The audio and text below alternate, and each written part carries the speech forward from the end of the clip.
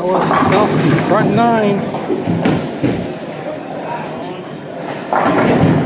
Come on, hit it, yeah!